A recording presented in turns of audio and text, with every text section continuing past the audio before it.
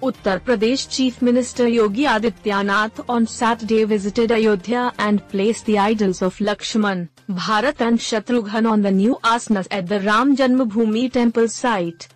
Yogi Adityanath reached Ayodhya in the afternoon and took part in a puja. He also offered prayers at the Hanumangarhi temple and inspected the stones carved for Ram temple at Mandir Nirman Karyasala. He then held a meeting with seers and members of the Ram Mandir Trust at the Vishwa Hindu Parishad headquarters at Karsevakpuram.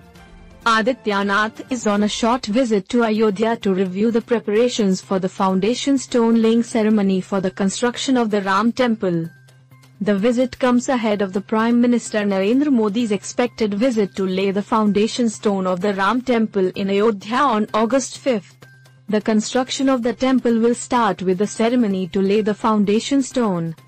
A trust member had said that in view of the coronavirus pandemic, only 200 people would attend the ceremony and all social distancing norms will be followed at the event.